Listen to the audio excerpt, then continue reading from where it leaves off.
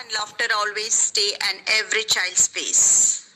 There are something that we cannot buy. One of such thing is our childhood. Happiness or enjoy the gift of childhood. Children are the future values of India. Hello, my dear children. My warm wishes on Children's Day. Happy Children's Day. Children are like a birds in a garden and should be carefully and lovingly nurtured as they are the future of the nation and the citizen of tomorrow.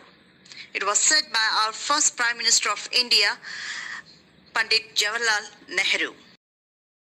His birthday, we are celebrating as a Children's Day in every year, November 14th. Jawaharlal Nehru was born in 14th November 1889 in Allahabad. Father Motilal Nehru and mother Swarup Nehru. Panditji completed his education in England. After he returns, he joined in freedom struggle with Gandhiji.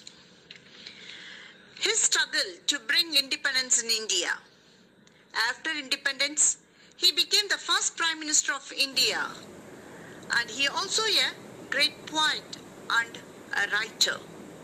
His famous books are The Discovery of India, Glimpses of World History, an autobiography, letters from father to his daughter. Panditji was well known for his love and care towards children, as well as for the roses also. He always says that children are the world's most valuable resource.